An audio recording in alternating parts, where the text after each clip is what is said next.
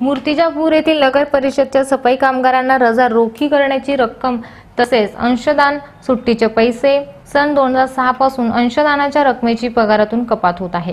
जवळपास त्रेसष्ट कर्मचाऱ्यांचे बँकेत खातेच नाही. तर ती कपात केलेली कुठे जात आहे असा प्रश्न मूर्तिजापूर सफाई कामगार संघटनेचे सरपंच राजू मिलांदे यांनी आयोजित करण्यात आलेल्या बैठकीत उपस्थित केला. नगर परिषद प्रशासनाचे यावर काहीच नियोजन नाही. नगर परिषदेचे मुख्य अधिकारी कोणत्याही प्रकाराची माहिती देण्यात असमर्थ ठरत आहे. सफाई कामगारांना माहिती देण्यास उडवाउडीची उत्तरे दिली जात आहे. लेखापाल देखील काही बोलण्यास तयार नाही. मागील चौदा ते पंधरा वर्षापासून काहीच हिशोब नाही. मग सफाई कामगारांनी काय करावे असा प्रश्न येथे निर्माण होत आहे.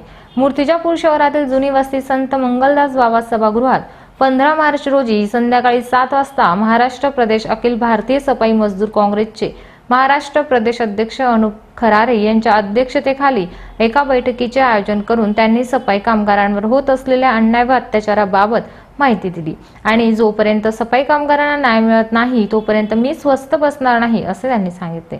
यावेळी सफाई कामगार बैठकीला उपस्थित होते तसेच महिलांची उपस्थिती होती.